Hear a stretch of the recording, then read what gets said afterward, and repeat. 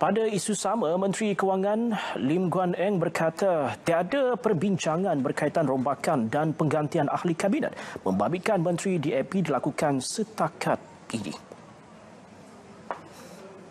Selalu jumpa PM, uh, selalu kita bincang perkara tapi ini tak pernah ditimbul. Tentang apa yang ditanya oleh saudara.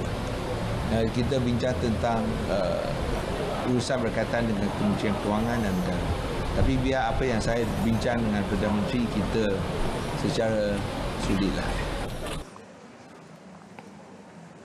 Ditanya mengenai kemasukan ahli akademik ke dalam kabinet, beliau menjelaskan ia perlu melalui perbincangan semua parti dalam Pakatan Harapan sebelum dilaksana. Beliau ditemui dalam sidang media di Butterworth.